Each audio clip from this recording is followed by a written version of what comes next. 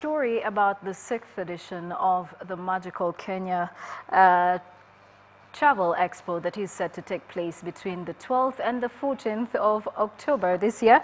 And uh, we are now joined by the acting Chief Executive Officer of uh, Kenya's Tourism Board to now talk to us about what exactly is happening in the tourism industry at the moment and how is Kenya marketing tourism today. Uh, Jacinta, thank you so much for joining us on this edition of Business Today. Um, today is quite an important day for you, uh, but what should we expect to start with at the Travel Expo that is coming up in October? Uh, thank you very much. Uh, and uh, for the Expo this year, we have um, a very interesting theme that uh, is called Tourism for All, Explore Endless Travel Possibilities. Mm-hmm. Why tourism for all? Because we believe that tourism should be able to achieve its very principle of cultural integration and reaching out to various economies in the in, in the country. Mm-hmm. So it should be able to go beyond tourism. So what we are looking at is really fronting the sustainability theme, being able to ensure and confirm that Kenya is set apart in terms of competitiveness because of the sustainability uh, projects that uh, we have in the tourism sector. Mm-hmm. Uh, this way, we'll be able to have various pavilions that showcase sustainability uh, projects in the tourism sector that have an appeal to the growing trend of travelers. Because we know 43% of our travelers would be willing to pay a premium mm-hmm. to travel to a destination that has social and environmental consideration in their facility or in their process mapping. So that for us is, is, is very unique and it follows the recent statement by the country led by HE the President about conservation and our efforts in taking care of our heritage. All right, and you know, we have seen uh, tourism starting to go on a recovery path, I think, since October of 2015. Um, but how best are we marketing tourism locally? Uh, the domestic continues to be very, very important for Kenya. Kenya Tourism Board mm-hmm. in here. Currently, we are running called Twende Ushago. Mm-hmm. This is a call to residents like to visit all the areas, regions mm-hmm. that are very attractive and diverse. So we continue to encourage Kenyans to move in the country and enjoy the heritage because this tourism um, uh, uh product not be in one area. We have all the development currently through the county government. The mm-hmm. players, product owners are launching product around the country. Mm-hmm. So we should be able to go around and take advantage of this uh, diversity and really um, enjoy the tourism product. All right, so you have also previously mentioned uh, that you are seeking to increase the number of beds to about by an extra 30,000, if I'm not mistaken. Um, but how is that going so far? Um, the current uh, bed and the domestic market mm -hmm. is at uh, 50. And these are figures that economic survey. Mm -hmm. we have a target as a tourism this year to achieve 55 percent bed and we believe we are going to be able to achieve this. Right. Okay, and of course we are now looking at the numbers. I do not want really to dig much deeper into them, but um, we are seeing the regional markets as well uh, starting to improve. Ethiopia as well, uh, you know, has posted about 51% growth uh, in terms of arrivals, but how are the other countries doing? Um, the other is Uganda and mm -hmm. Rwanda averaging at about 20%. Mm-hmm.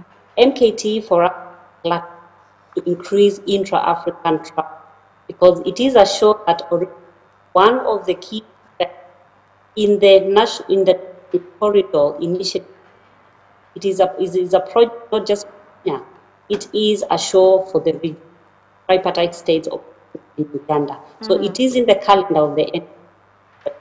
So we are using to ensure that our business come together, do business together, and take advantage of the of tourism visa and also the free movement by the citizens of the three countries using IDs, where you don't need a passport, Uganda and Rwanda, mm-hmm.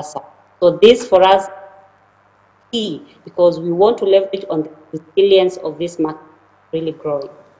All right. And, uh, you know, for a long time, Kenya has been looking at wildlife tourism as the key uh, tourism attraction or tourist attraction. Um, but, you know, we've come a long way now, and there are quite a number of other tourist attractions that Kenya has. Which are some of them? Uh, especially for the regional market of Africa, we are looking at newer segments that mm -hmm. we mm-hmm. haven't promoted in the traditional markets of Europe, US. Yeah. For instance um, um, um, or even come here for medical tourism. The mm-hmm. very bare fact that Africans look at Kenya as a very economical development, technological development. And mm-hmm. we find that we have more to offer than offering uh, the, the, traditional markets. The East Africans state very clearly in the this year. They, they want up Kenya. They want night, they want shop, they want to be able to ordinary Kenyans go out you know, in the in the various Kenyans gathered so that they can enjoy uh, the hospitality and the warmth of the Kenyan. Mm -hmm. Well, thank you so much, Jacinta. We appreciate the time taken to talk to us about uh, how the tourism industry is doing in regard to marketing it. Uh, wish we could talk more about it, but I guess there's always a next time. Now, passengers were stranded for, I think, the better part of this morning at Likoni Crossing Channel after a Likoni ferry MV Kwale developed mechanical problems, leaving over 1,400 passengers. Unattended to, passengers blamed the management of the ferry for the slow response to the crisis as it was just a few meters away. The ferry was carrying uh, only passengers who were headed to different working stations within and outside Mombasa. The passengers are now asking the government to buy new ferries or come up with better means uh, to this seemingly unending crisis. According to eyewitnesses, some of the passengers uh, had to dive and swim across as the rest waited to, uh, in panic to be rescued. Last year in May, um, we did see the MV Kwale as well that stalled midstream, forcing passengers to jump to safety. The recurring problem, uh, problems rather saw a change of management earlier this year. Kwa lisali moja na nusu hivyo ndio hayo ambayo imetupata ndani ya feri. Hiyo feri naona matatizo ni mlango, maana tumekuja mara ya kwanza ikakataa kushukisha mlango, tukarudi hivi ikazunguka, tukaja tena ikakataa kushukisha mlango. Sasa tumeketi hapo karibu sijui masaa matatu au manne. Kwa hiyo tumehangaika, lakini twashukuru, twashukuru tumetoka salama sote, twashukuru. Ninatoa tu maombi kwa Kenya Ferry kama inawezekana, kwa nini mahali hapa hapajengwi kifaa cha sawasawa kama daraja walikuwa wanasema kuliko kugojea Dongo Kundu. Dongo Kundu sasa inaenda miaka mingapi sasa? Mkibaki amekaa na Dongo Kundu haikuwako. Rais wetu uh, Uhuru naye yupo, Dongo Kuu hakuna. Kwa hivyo sifadhali tuwekewe hapa feri ni tuwekewe hapo uh, daraja ili iwe rahisi namna hii. Now, earlier we did ask a poll question, uh, do you think the anti-IEBC protests are disrupting businesses around the country?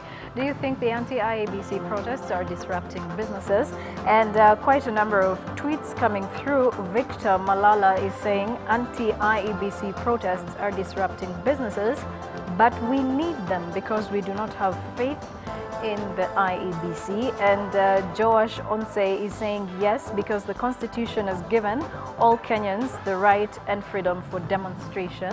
And uh, we're having Data Boy who is saying of course but who is to blame? Is a question you're asking. And uh, Jakat Wenger is saying the question should read who between the protesters and the police is disrupting businesses interesting. And uh, Simon Ciale is saying, indeed, the major towns are losing a lot. Something needs to be done fast. And uh, can't run my business in town today because of the anti-IEBC protests. So uh, quite a number of views we could go through. Let me just read one more here from Jimmy Gakio, who is saying, yes, the demos have a severe impact on our economy, keeping in mind uh, Monday is open day for business. That is quite disrupting. We'll go through some of your tweets uh, before the end of the show. We'll now take a short break. More to come. We will be speaking to Duncan Owiti, who is one of the Kenyans uh, trying to help Kenyans living in the diaspora make meaningful investments back home, and that is in the real estate sector. Do stay with us.